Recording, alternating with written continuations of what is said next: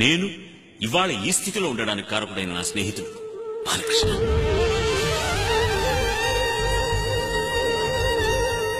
నా ప్రాణానికి ప్రాణం బాలు.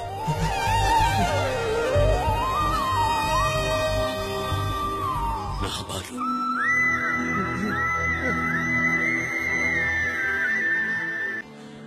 నేను ఎంతో ఉన్నత స్థాయికి ఎదగడానికి వాడు అనుక్షణం కష్టపడేవాడు.